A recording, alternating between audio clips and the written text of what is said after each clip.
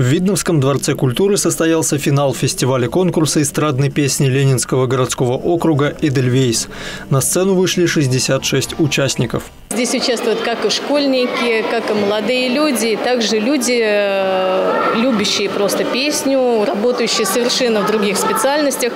Но когда душа поет и хочется выйти на сцену, мы даем такую возможность, и, поверьте, не хуже профессиональных артистов бывает зачастую. Конкурс «Эдельвейс» имеет многолетнюю историю и проводился уже в 22 раз.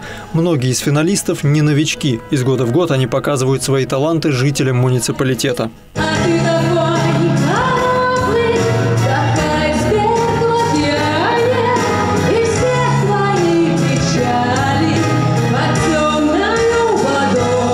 Это мое саморазвитие, это мой рост – и, собственно, я делаю то, что мне нравится для души, для себя в первую очередь. А то, что идет от меня, от души, от сердца, это и зрителю приятно всегда.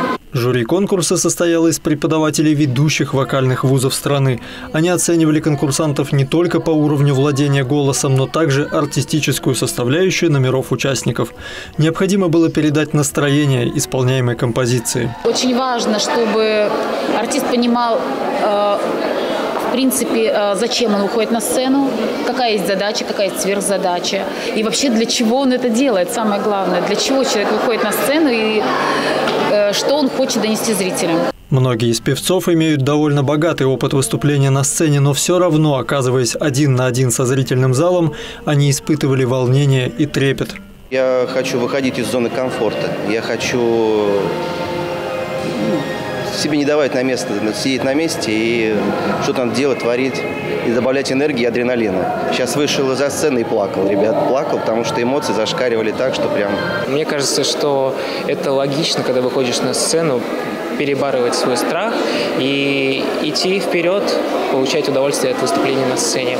Поддержка зала очень помогла, но Конечно, я считаю, что я в целом неплохо выступила, но ошибки тоже есть, над которыми нужно будет работать.